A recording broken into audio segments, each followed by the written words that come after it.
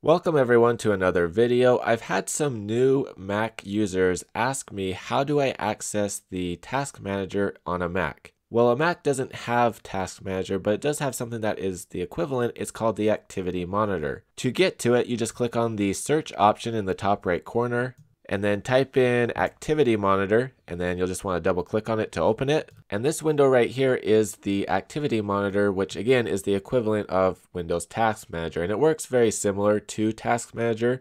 We can see up here at the top, we've got multiple tabs for different options. We can see CPU usage, memory usage, which applications are what is using up the most energy. In case you're on a MacBook Pro or MacBook Air, you can see which is consuming the most battery life. You have disk as well as network.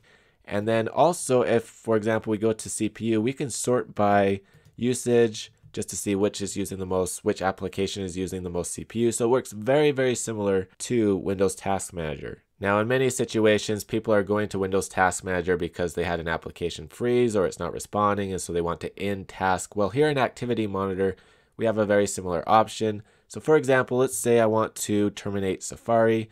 I just select it here and then right here there is an X option. I can click on it and it gives the option to quit or force quit. If it has stopped responding and has frozen, you're probably going to want to go with force quit.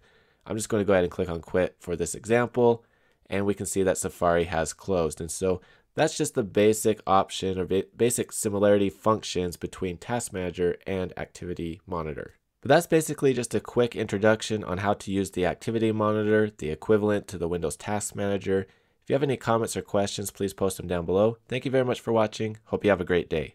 If you like this video, please give it a thumbs up. If you found it helpful, please go ahead and consider sharing it. And please also consider subscribing to my channel and don't forget to hit that bell icon to get notifications on future videos.